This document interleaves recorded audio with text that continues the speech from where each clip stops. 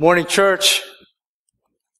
Thank you so much for spending your Sunday morning to worship our Lord here with us. My name is Hanley. If you're new, I'm one of the pastors here, and it's a joy to be part of this team.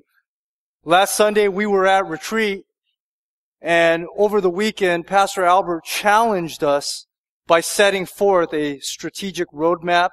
It's not a plan, meaning what he shared with us, there aren't any deadlines of, of how long it'll take to get this plan done. But instead, there were a lot of options, ministry options, ministry opportunities that will require each of us in this church to step up and play a different role.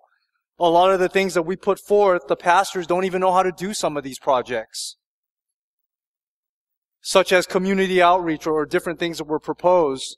Uh, instead, we put those out just to see if God has put any of you, put it on any of your hearts with both gifting and experience and desire to say, hey, I, I want to pray about it. Um, I want to take this up and, and I want to lead it. I want to be part of a team uh, that moves us towards accomplishing this piece of our vision. So in the weeks to come, you'll see this unfold a little more. I was talking with, I was talking with Pastor Albert on Friday in regard to how we're going to treat this particular passage. One of the things that's key to our vision is that we want to be driven by a passion for God's Word and we want to be biblical, which means we want to preach every single passage in this sacred desk by treating it in its context.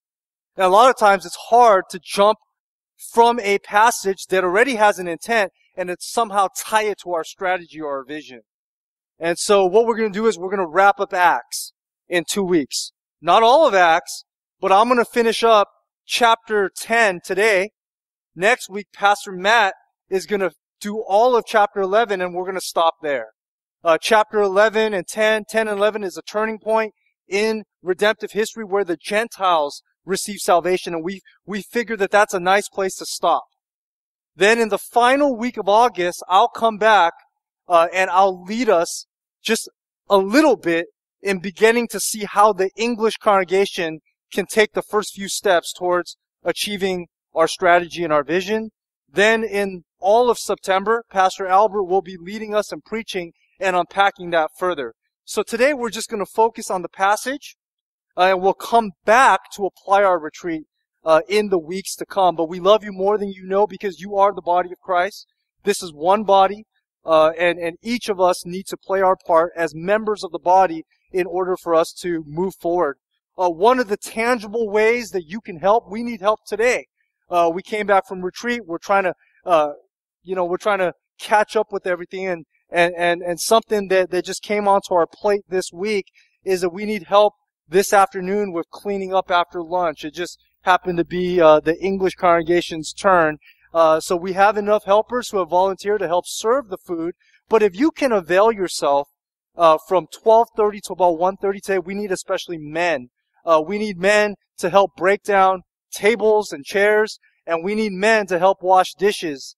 Uh, and, and most of us men, if, if you don't like to cook at home, you know that we wash dishes. Uh, I have to teach a class during that time, otherwise I'd be in there with you.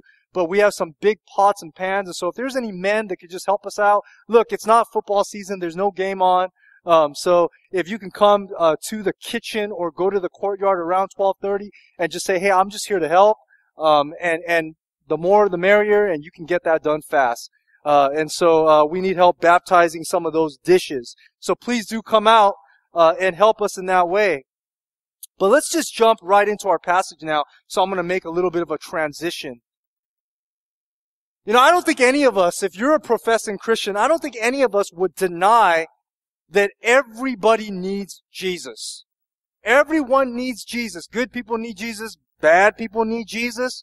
People in the middle need Jesus. Rich people need Jesus. Poor people need Jesus. Middle class people need Jesus. Athletic people need Jesus. Short people need Jesus. Tall people need Jesus. Everyone needs Jesus. But I think that it's natural for us to feel like, oh, that guy's bad. He's a criminal. He really needs Jesus. Saul, who became the apostle Paul, he needed Jesus. I mean, everybody knew that. Every Jewish Christian understood that, that this guy wants to kill Christians. He's a murderer. He's a terrorist. He's, he's preaching against our Lord, he really needs to get saved. The thief on the cross. No one would deny that this robber, this criminal needed Jesus. And I think sometimes it's like that for us. You know, when, when, when we think of bad people, we think that they need Jesus. I know for a fact, and I think it's okay because, you know, God has payback and it's fair because uh, I got called into ministry. Uh, it's a blessing, but I know for a fact that all of my Sunday school teachers growing up said Hanley needs Jesus. Uh, it wasn't hard for me uh, to realize that I wasn't, I didn't see myself as a decent person growing up. Uh, in junior high and high school, I knew that there was something wrong. I knew that I was bad. I saw myself as a dirty pagan. I knew that. And I, I, I, I knew that there was something worse about me is that I wasn't someone who never learned about the Bible. In fact, I went to church and got kicked out of Bible drill. So I knew about the Bible. I heard these story, uh, stories and I would make fun of people like Noah. You know, I would make fun of uh, Christians in that time. So I knew I was bad. The question was, do I want to commit my life to this man named Jesus because he's going to change my life? Obviously, at that point, I was wrestling with whether or not Jesus is God and whether or not I want to live for God. so I understood that I needed the gospel. The question is, do I want to respond to the gospel? But in today's passage, we're going to see something different. We're going to see two major themes. First, we're going to the morally upright people, people who you would naturally think, oh, that person's not that bad. Maybe that's how you view yourself. The good people need Jesus too. In fact, sometimes they need Jesus more than those who we think were bad because good people don't think they're bad. You know, it's just, it's just what it is. It's just how it is. And second, we're going to see the point of the text, which is here in Acts chapter 10 is a turning point in redemptive history. In God's plan to save sinners and redeem them unto himself, which we see unfolded from Genesis 3:15 where God promises that a child born from the woman Eve, meaning a human being, will defeat and crush the head of the serpent and defeat Satan and redeem fallen creation that that thing plays out. And in the Old Testament, God had, in a temporary moment, had turned his, the, the foci of his redemption on Israel, on Abraham's descendants. And, and it was that way for 39 books of the Bible.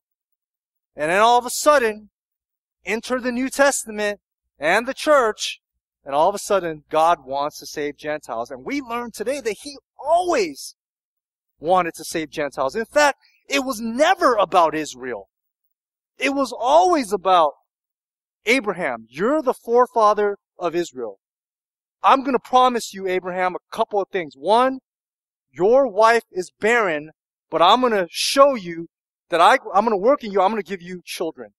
One, I'm going to give you a seed, and you're going to have many descendants. I'm going to make you a great nation. Secondly, in order for you to be a nation, you need land. You need entity. You need somewhere to be a nation. I'm going to give you the land of Canaan.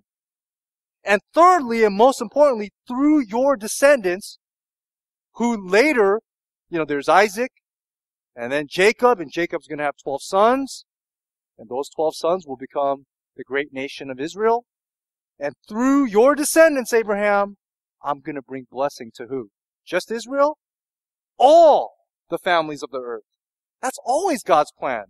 That was God's plan from the uh, beginning, from Genesis 12, that He wanted to save the nations. And what we're going to see today is that it gets fulfilled. Alright? So let's take God's Word and turn with me to Acts chapter 10. Acts chapter 10. And we're going to see God's redemptive plan unfold and basically be executed and implemented here in Acts chapter 10 with a conversion of a Gentile. Acts chapter 10.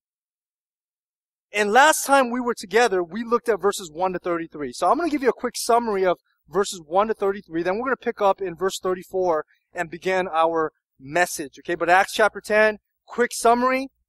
Last time we were together, God was preparing two people for Gentile salvation. The first person we saw was that, was that he was preparing a man named Cornelius.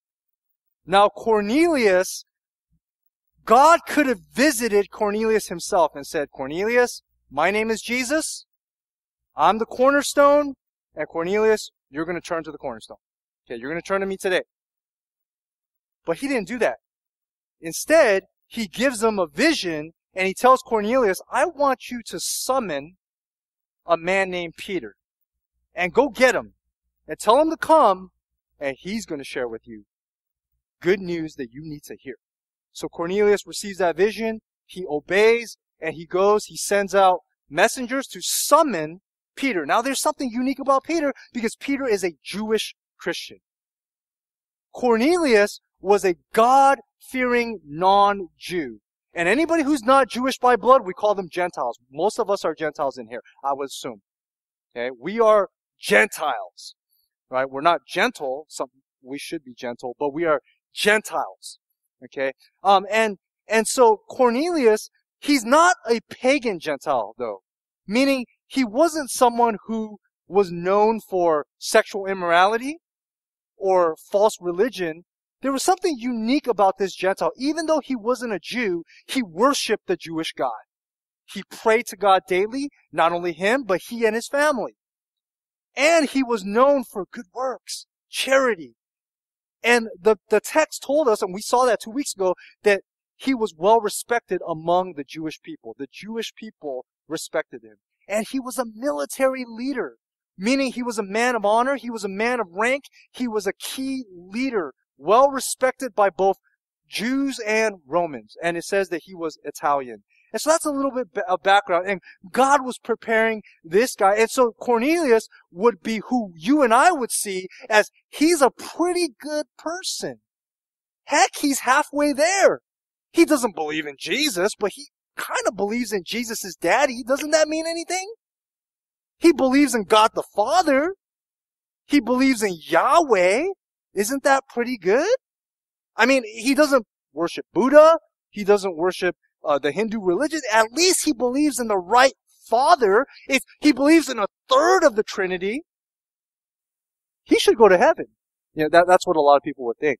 But he's an example of a morally righteous, good person who kind of got a third of the Trinity right.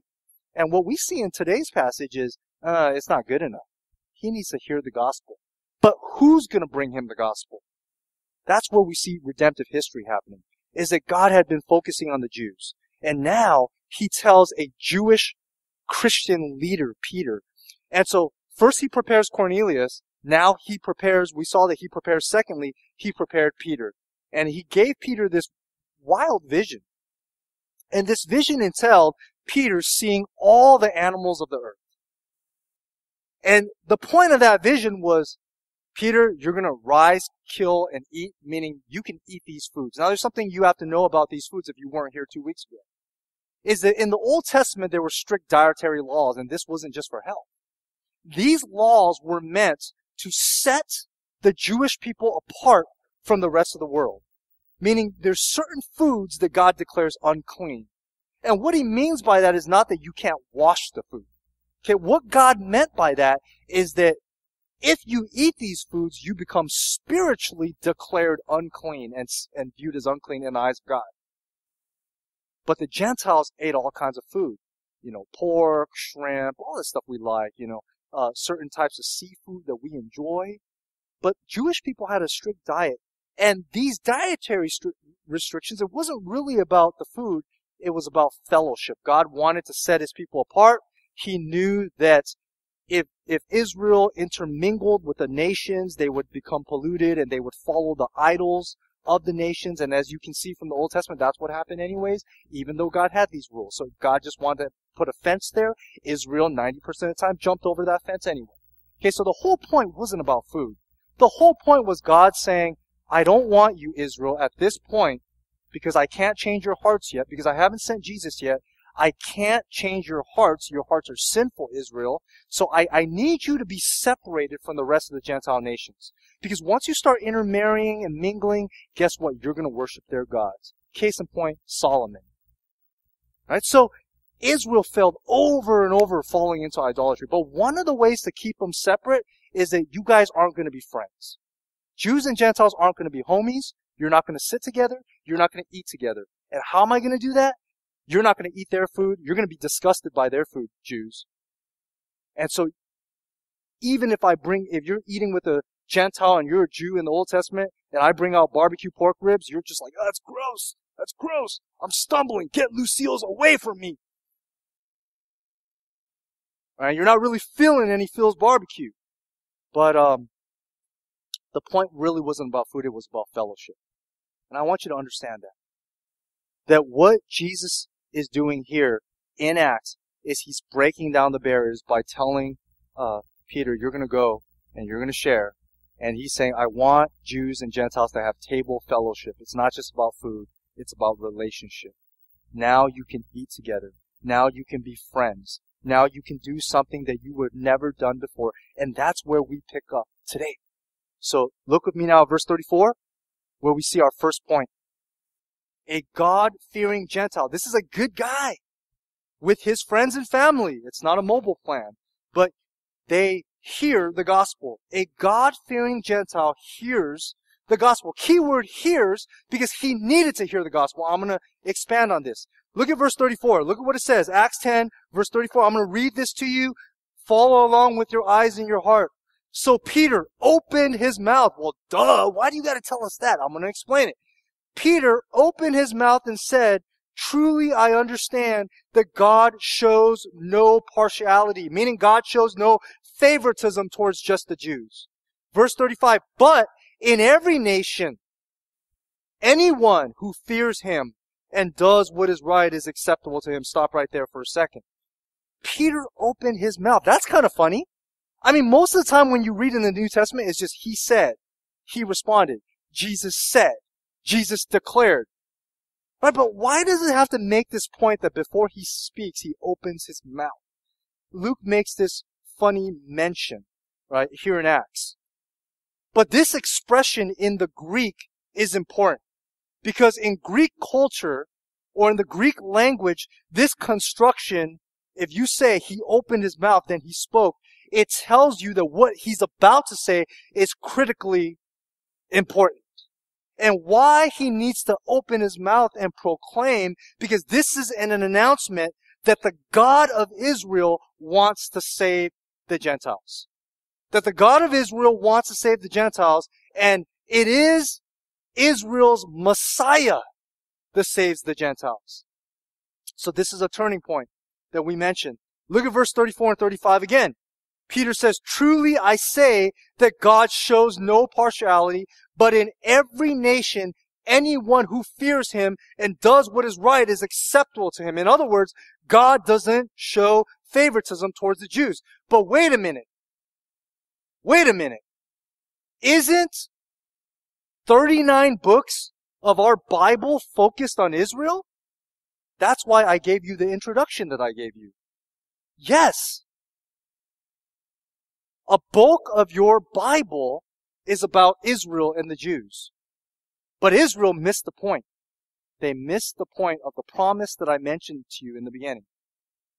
Israel, their entire identity, do you understand that their entire identity is wrapped up around Abraham and the promises to Abraham, why do you think that they care so much that they're still fighting about that piece of Palestinian land today?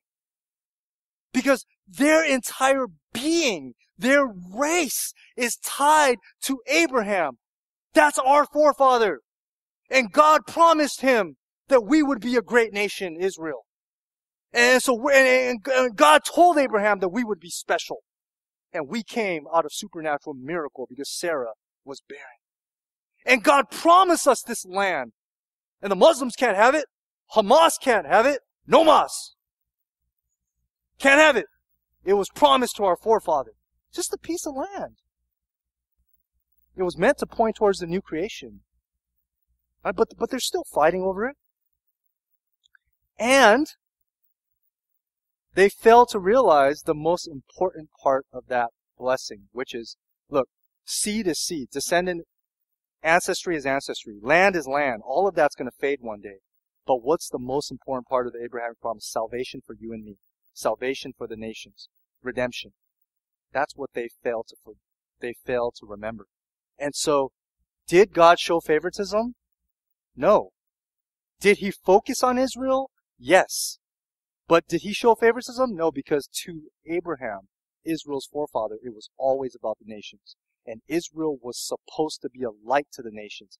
And every time they fail, God put them into exile. Every time Israel failed and they forgot about their purpose and they were supposed to be a light to the nations, not become mixed in with the sins and the idolatry of the nation. And whenever they failed to be a light and that light went out, God punished them. And so when Jesus came onto the scene, what did, what does John 1 tell us? Right? He comes, the word become flesh, and he comes, light into darkness. First John 1 as well. Jesus comes to represent the true Israelite and where Israel failed. Jesus Christ comes and says, Israel failed, but I am the son that comes out of Israel. I am the seed of Abraham. Galatians 3. I am that descendant of Abraham that's going to bring blessing to the nations. Does that make sense? Okay, so did God show favoritism? Kind of, not really. He's always had a heart for the nations. And that's the meaning of what Peter's saying. He says, Truly I say that God shows no partiality, but in every nation, anyone who fears him and does what is right God, is acceptable to him. And God wants to save Cornelius, case in point. Cornelius was a person who feared God, who was righteous, who does what is acceptable to him, but salvation is not by works, meaning Cornelius' worship of God the Father and Cornelius' conversion to Judaism and Cornelius' good works aren't going to save him. He needs more. He needs to hear something from a Jewish Christian who's going to come. And he needs to hear the gospel. To do what is right again means to obey God's commands, and we know that no human being can perfectly obey God's commands. That's why to do what is right requires trusting in Jesus Christ, which we see in verse 36. Look at verse 36. As for the word that he sent to Israel, preaching good news of peace through Jesus Christ. What's the good news? The good news is you can have peace with God now through faith in Jesus Christ. And it says he is Lord of all. There's a parenthetical note. And that's, that's saying he's not just the Lord of Israel. He's the Messiah of Israel and the nations. He is the Lord of all. Notice that Peter alludes to the good news that was preached to the people of Israel and that there's peace with God through Jesus Christ. In other words, right, as for the word that he sent to Israel, meaning it, the gospel and the Messiah went to Israel first. And the gospel and Jesus still goes out to Israel, even though they rejected their Messiah. Now, in verse 30, starting in verse 37, we begin to see the content of the gospel. So he's going to share the gospel now, the good news of Jesus Christ. What is the gospel? Here we see Jesus' life, death, and resurrection. That is the key essential components. Those are the key essential components of the good news. He begins with Jesus' life. Jesus was not just a man, right? He was the, he is the risen Lord, but he begins with a life. Now look at verse 37. You yourselves know, which means that Cornelius and his family had heard about Jesus, this man named Jesus. You yourselves know what happened throughout all Judea, beginning from Galilee after baptism that John proclaimed. So John baptized Jesus and began to proclaim Jesus. And then verse 38, how God anointed Jesus of Nazareth with the Holy Spirit and, and with power. He went about doing good and healing all who were oppressed by the devil, for God was with him. You yourselves know. Remember, how does he know? Cornelius worshiped the God of Israel. And he heard what the Jews heard. And he also understood a, a little bit of the Old Testament. Now, the way that Peter talks about the life of Christ, there's fulfillment language. And I want you to see this. The way that he shares the gospel is Jew friendly. If you're a Jewish person, you grew up looking forward and anticipating this Savior, this Messiah that's going to save you, that's going to rescue you. And, and, and dear to your heart is the book of Isaiah. You, you love Isaiah because Isaiah talks about God's Davidic king, the future Davidic king that's going to come. Isaiah prophesies and foreshadows the suffering servant who's going to come and redeem God's people because they could not bear their own reproach and there will be one who bears their sins. And Isaiah 11, 2 foreshadows the Davidic king. And Isaiah chapter 11, verse 2, it, it, it, predicts this, this future son of David where it describes the Spirit of the Lord will descend upon him. Now I want you to keep a finger in your Bibles here in Isaiah, uh, in Acts 10, and I want you to flip with me. So keep a finger here like this, and I want you to flip with me to Isaiah 61. And yeah, when I say that, I'm assuming that most of you have paper Bibles. I know I'm going against the trend, but it's much easier to study God's Word when you can flip it.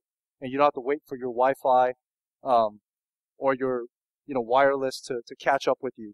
Wi-Fi slow on Sunday, by the way, because everybody's on it. Okay. So I suggest that on Sundays, you either use your data or bring a Bible. Alright? So, Isaiah 61. Look at Isaiah 61 verses 1 to 2 and if you're a Jew, compare this. I'm not saying you're a Jew, but if you are Jewish, you can compare this to what Peter says to Cornelius and have some understanding. Look at Isaiah 61. Look at verses 1 and 2. It reflects Acts 10, 38. It says, the Spirit of the Lord God is upon me. Now this is foreshadowing the Messiah. The Spirit of the Lord God is upon me because the Lord has anointed me. To do what? What, has the Lord appointed you to do? To bring good news to the poor. He has sent me to bind up the brokenhearted, to repair broken souls, to proclaim liberty to the captives. What are these captives? People who are possibly demon possessed, under the slavery of sin. An opening of the prison to those who are bound. This is spiritual bondage. Verse 2, to proclaim the year of the Lord's favor and the day of vengeance of our God to comfort all who mourn. You see that language? Now go back to Acts 10. Go back to Acts 10 and let me show you verse 37, 38 again. You yourselves know what happened through all Judea, beginning from Galilee after the baptism that John proclaimed, how God anointed, the word anointed, that's in Isaiah 61, anointed Jesus of Nazareth with the Holy Spirit. Isaiah 61, 1, the Spirit of the Lord is upon me and with power. And he went about doing good and healing all who were oppressed by the devil. Isaiah 61 talks about bringing good news to the poor. He sent me to bind up the brokenhearted, proclaim liberty to the captives, opening the prison of those who are bound. Right? You see this. He went about doing good and healing all who were oppressed in the devil, for God was with him. So, what Peter is saying is, Cornelius, you understand the Old Testament. Jesus fulfills the Old Testament. Jesus is Isaiah's Messiah. Jesus is the servant that Isaiah spoke of. This is geared. This is sensitive. This is Israel sensitive evangelism. Because Cornelius worshiped the God of Israel. Now he mentions Jesus' death. Go to verse 39 of our passage. Acts 10 verse 39. And we are witnesses of all that he did both in the country of the Jews and in Jerusalem. They put him to death by hanging him on a tree. And again, that alludes to Deuteronomy 21, verses 22 to 23. You don't have to turn there. Okay, but Deuteronomy 21, 22 to 23, which states, curses the man who hangs on a tree, and it alludes to the fact that a hangman is cursed by God. And so what Peter wants to share with Cornelius is the manner in which Jesus died. He hung on a tree. He was crucified, reflected his bearing the highest condemnation of the Old Testament law. Deuteronomy 21 to 23 is like uh, 21 verses 22 to 23 contains the equivalent of what you and I would see as the modern day death penalty. It's, it's like that was for murderers. What's the worst curse that God can bear upon a person? What's the worst punishment that could happen to the grossest and the vilest offenders of Israel? They would be hung on a tree. And Jesus is completely innocent. He's sinless. He's the Son of God. And the manner that he dies, he bears the worst reproach. He bears the sin of sin. He dies in a way that, that would be shameful. And so even his death fulfills the worst punishment. He truly bore the law and the punishment of the law. Yes, in his heart, yes, in a spiritual realm, he bore the spiritual wrath of God. But even in his physical manifestation of his death, he bore the worst curse of the Old Testament law. And so this is the gospel for Jews. Now look at verse 40 to 41 of our passage where Peter, he talks about Jesus' life fulfilling scripture. He talks about Jesus' death fulfilling scripture. Now he talks about Jesus' resurrection, right? And God's, God's, God resurrects his son. Look at verses 40 to 41. But God raised him on the third day and to make him appear. And he didn't appear to all people, but to us, the disciples, who he had been chosen, who had been chosen by God as witnesses, who ate and drank with him after he rose from the dead. And Peter testifies not only to Jesus' resurrection, but he says, not only did he rise from the dead, but we saw him afterwards. We saw him afterwards. That he would, that, that, uh, that we had breakfast with him. He made fish for us. And so you, you see some of these in the end of John and at the end of Luke that there are post-resurrection appearances recorded. Then, in verses 42 to 43, we see God's commission. Peter talks about Jesus' life, Jesus' death, Jesus' resurrection, and Jesus commissioned his disciples to preach this truth. It says in verse 42, He commanded us to preach to the people and to testify that He is the one appointed by God to be the judge of the living and the dead. To Him, all the prophets bear witness to everyone who believes in Him receives forgiveness of sins through His name. The apostles went to preach the apostles went to preach that Jesus is the judge of the living and the dead. And what that means is that Christ is authoritative, not over, not just over one nation of Israel, but over the entire world. He will judge all of mankind. And that's what we see. So what we understand here is that Cornelius is a bridge. Ethnically, he is a Gentile. But Peter is able to preach to him in a way where it makes sense to someone who grew up understanding the Old Testament. When Paul preaches the gospel, he starts with creation later in Acts. And we're not going to get to that passage, but he refers to creation because he, he is going straight up to pagan Gentiles who don't have Old Testament knowledge. Right, so Peter's very strategic about how he does this, but Cornelius is a bridge. He's a God-fearing Gentile Later in Acts, God turns his heart using Saul and Paul, who becomes Paul as his chosen instruments to go after hardcore pagan worshiping Gentiles like me. That's why I love Paul. Paul's my favorite because he speaks to me. Uh, if you're a bad guy, you like Paul. Okay. Um, point number two. The second truth is that God confirms. So the first is that is that Cornelius needed to hear the gospel. I'll come back to this in the application. But the second point is that God confirms Gentile salvation. Again, this is not an application point. This is basically what is God doing in this passage? Because that's important. You can't miss that. What is God doing? Why is God sending Peter? Why does God give a Pentecost 2.0, if you will? Right? Look at verses 44 to 48. While Peter was still saying these things, so Peter doesn't get to finish his sermon. I mean, so I wish that that could happen. I wish I could just be like, open your Bibles and read, reading the passage halfway and people are like, I want to get saved, Pastor. I want Jesus, but I'm not done yet. Oh, Hanley, you didn't even have to get to that application. I believe, you know, I, I wish that would happen, but this is what happens. Peter's preaching midway through and he's interrupted by the Holy Spirit, which is awesome. You know, you want the Holy Spirit to do this? Okay, but this is what happens. While Peter was still saying these things, the Holy Spirit fell on all who heard the word. So everyone who heard it, the Holy Spirit fell on them. And the believers from among the circumcised, now who's that? Who's that, right? Who, who are the circumcised? These are the Jewish Christians who are with Peter, who had come with Peter, were amazed. And again, Peter was perplexed. We saw that he was inwardly perplexed last time, that God would even want to save the Gentiles. Now, they're amazed that the gift of the Holy Spirit was being poured out. And it says, look at verse 45. I'm reading out of the ESV, but look at how it says, even on the Gentiles. Almost like God wants to save people, even Celtic fans.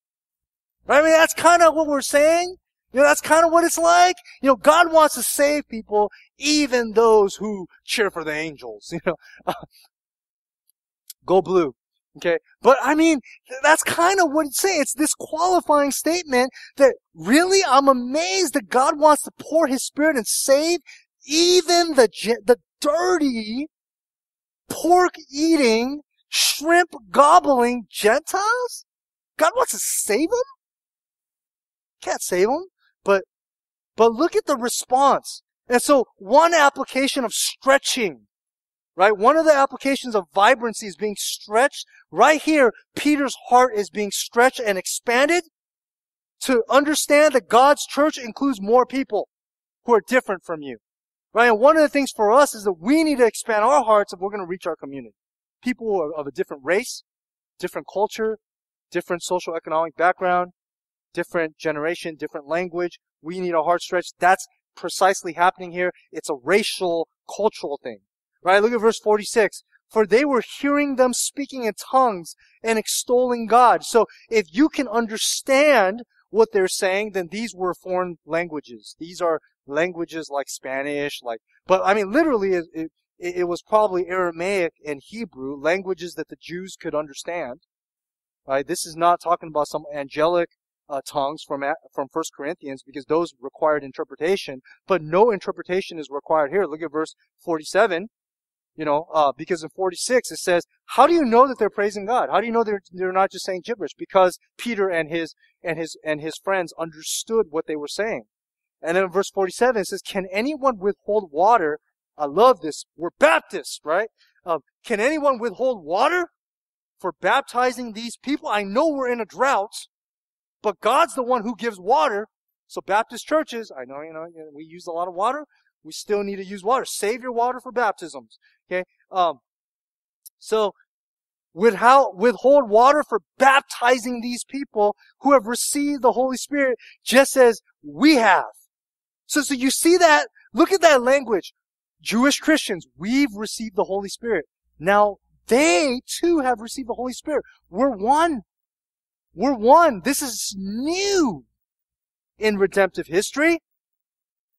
And then it says in verse 48, and he commanded them to be baptized in the name of Jesus Christ. Then they asked him to remain for some days. Now there's a few quick application points here. You should be baptized as soon as your, your salvation is confirmed.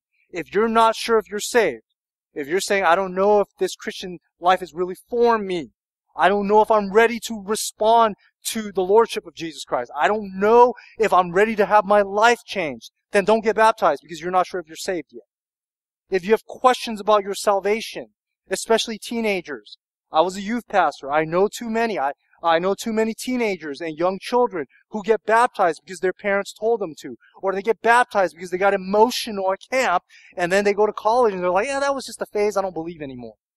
Right? You see that. So that's why I'm, I'm way more confident baptizing adults who have made a decision and, and they know. So if you're in that camp where you're like, I'm not sure if this is really my faith or my parents' faith, I don't know, then don't get baptized. But once you're confirmed, how, in this passage, what's the confirmation? The, the Holy Spirit. Right? The, that Peter saw that they were received the Holy Spirit. And if you get the Holy Spirit, you cannot not be converted.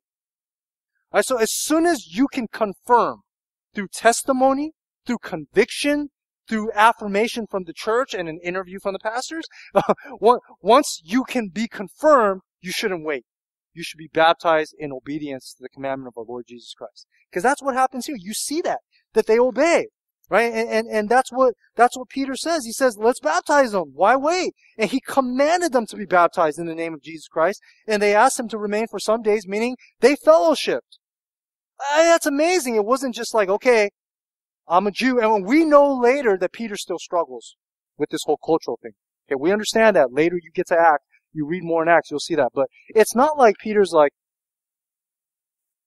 you know, um, I don't want to touch you dirty Gentiles, but I got to share the gospel with you. So hold on, let me put on my food serving gloves. Jesus loves you. I see that all the time. I see that all the time. You know, we, we used to take kids to, to, to uh, on missions to certain places, and, and Pastor Jerry and I talked about it. We're like, hey, it doesn't change their hearts. Let's take them locally and just show them they need to share the gospel. Because they go there and it's like everyone's poor and, and, and, and you know, you don't have showers and, and you don't have your regular food. But as soon as we cross the border or come back, it's like, oh, let's go to McDonald's, you know, let's go to In and Out and you go back to your Game Boys and you go back. It's just, it's just temporary. We see this during the homeless ministry. It's like, okay, we can, you know, I'm going to put on some gloves, shake some hands, but then afterwards I go back to my house, I go back to my clean house and I take a shower right away and, you know, throw my stuff into the laundry. I mean, that's our hearts, right? I mean, Peter doesn't do that. He doesn't go in and say, okay, I'm Jewish, so I'm holy. Here's the gospel, I'm out. Right? It says that they asked him to stay and he stayed and fellowship with them.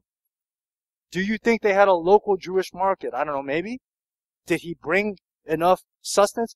Probably Peter, I don't know, began to have their hospitality, began to eat the food, began to, at least where he could, um, but he really began to accept them slowly, and God eventually changed his heart.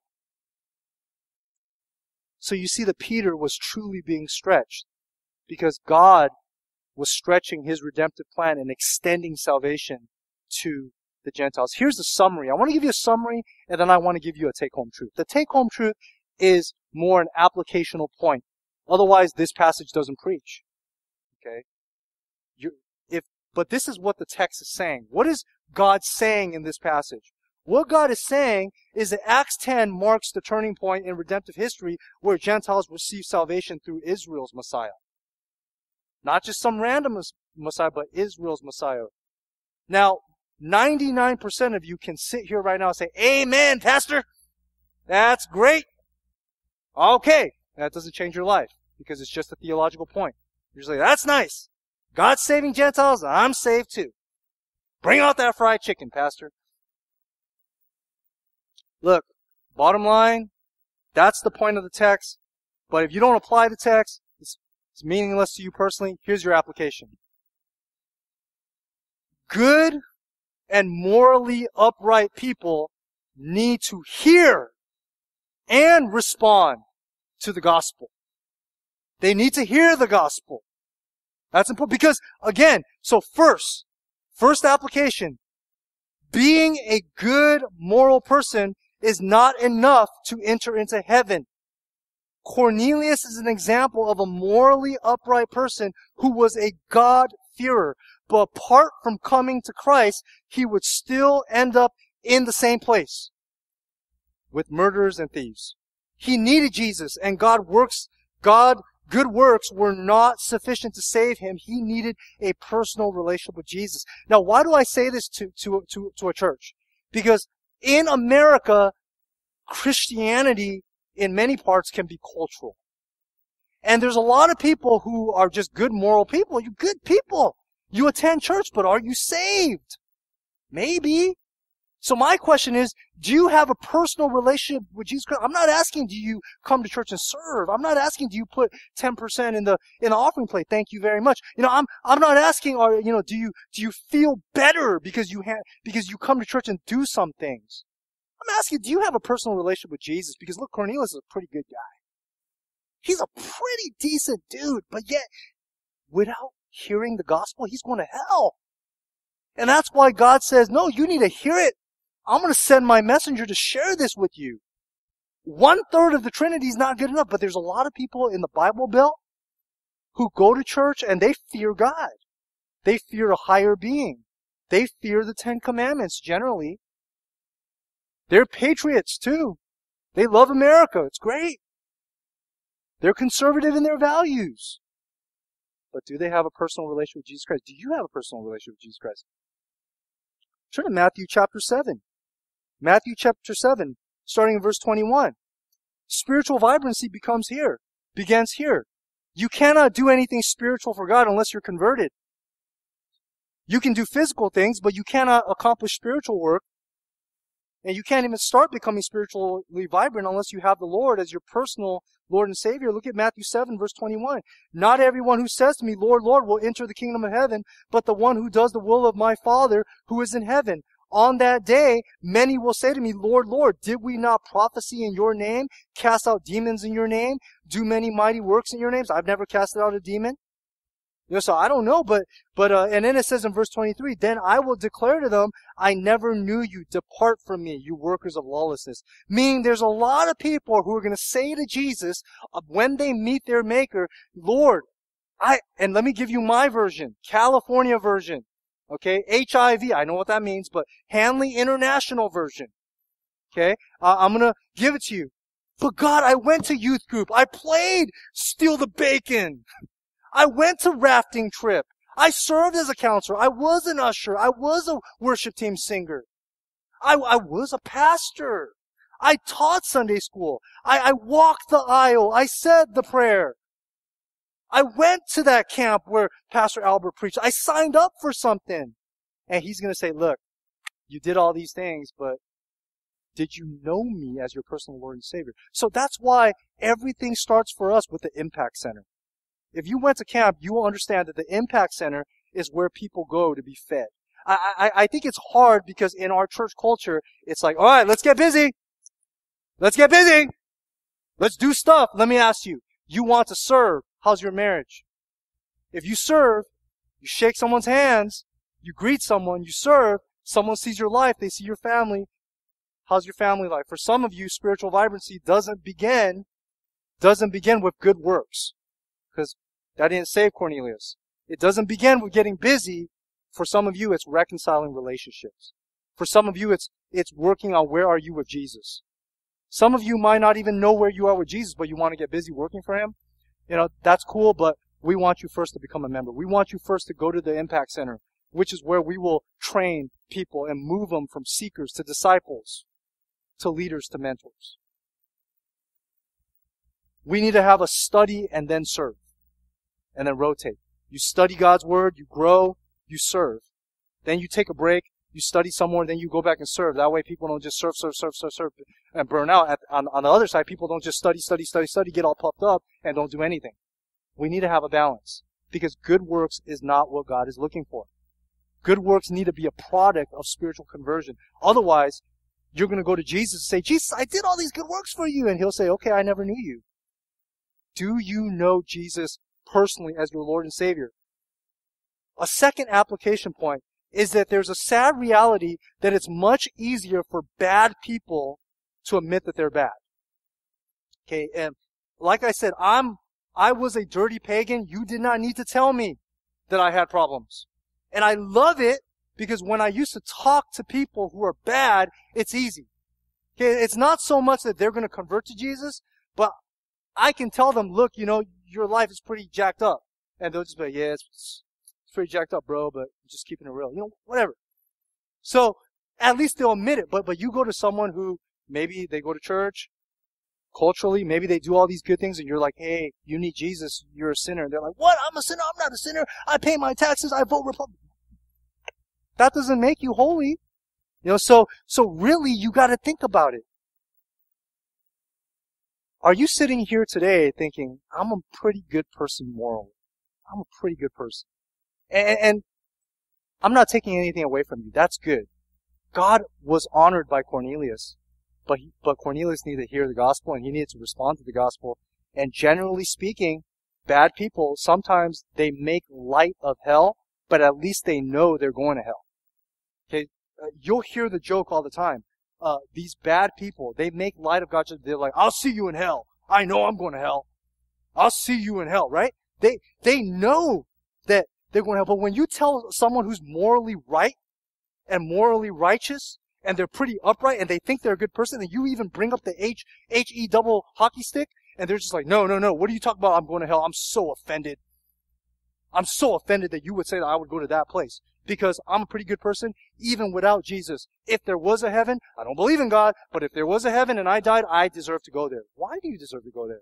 Because I'm a pretty good person. And this passage today says, not so fast. So I want you to ask, are you here today just as a cultural, traditional, good, moral Christian, or do you have a vibrant personal relationship with Jesus Christ? Are you just a Christian Confucianist? You know, you just have good moral principles, or is it feel goodism, where you want to do good things because it makes you it makes you feel spiritually good about yourself, uh, a belief in a higher moral being. All of these things are good to a certain point, but they will not save you. Second, okay, well, I already gave you a second. So third application, people cannot be saved without hearing and responding to the gospel. And what I mean by that is there's this false idea. There's this false teaching that if you're in a place where a missionary never reaches you and, and, and you reach out for the closest concept you can of God, that you'll be saved. Okay, there's this false idea that let's just say I'm on an island by myself and I never hear the gospel. The gospel never reaches me. I don't have a Bible, but I have bananas. And so I'm worshiping the banana God because that's the closest thing possible. And then can I really say to God when I get to heaven, God, you never showed up, but I worship the banana God, and if you did show up, I would have converted to you. This shows us that Cornelius was pretty good, but he needed someone to go and share with him. He needed to hear. Peter needed to open his mouth and speak. So no, people who never hear the gospel, they, they don't get a, they don't get a pass. That means missionaries need to go.